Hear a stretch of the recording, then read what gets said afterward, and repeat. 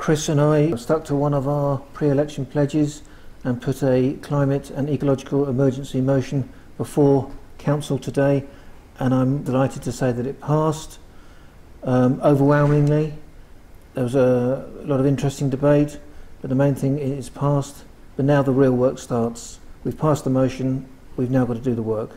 We're both really excited that this has passed and we have got what we think are really, really achievable targets to meet by 2030, which doesn't mean we're going to be putting this back. There's going to be action from this year going onwards in the future. We've got um, plans already in place with officers to put a timetable in where we can manage and quantify what we're going to be doing each year and we're going to be monitoring this and showing the achievements we make and how much carbon we're actually saving until we do hit zero carbon.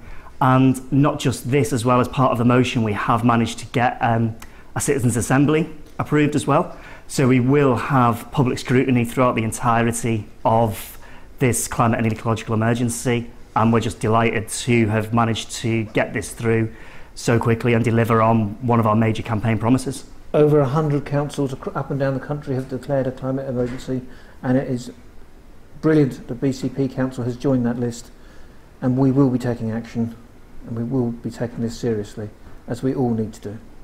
And we're also going to be taking this opportunity to show leadership as well throughout Bournemouth, Christchurch and Poole and as the council moves towards zero carbon we want to take the local businesses and residents with us as well until we can achieve complete carbon neutrality throughout Bournemouth, Christchurch and Poole.